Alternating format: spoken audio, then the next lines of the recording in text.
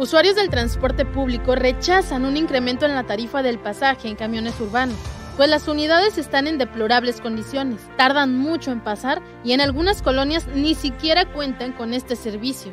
Yo pienso que primero, antes de subir la tarifa, pues deben de mejorar y, y reponer las rutas que quitaron después de la pandemia, porque muchos estudiantes de allá salen caminando ajá, o tienen que caminar mucho para dirigirse hacia las escuelas.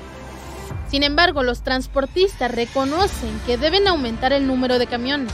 En la actualidad solo circula el 60% de las unidades, ocasionando retardos en tiempos de llegada a las paradas de hasta 40 minutos. Lo que justifican es que desde el 2012 no ha cambiado la tarifa, lo que ha agravado la situación del estatus de camiones. Se definió ya así en forma pues que la necesidad de la tarifa es conveniente, porque de lo contrario van a seguir cayendo. Nosotros hemos planteado la necesidad de cuatro pesos. Eso pudiera pensarse que es alto, pero no.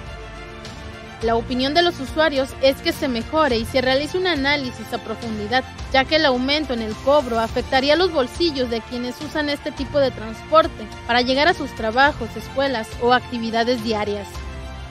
Pues la verdad sí, el, el servicio de, espera de la ruta sí está muy, muy lento, a veces sí es tardado como hasta una hora en esperar una ruta y pues si no atienden mucho ese, esa parte, pues, pues no, no se justificaría el aumento.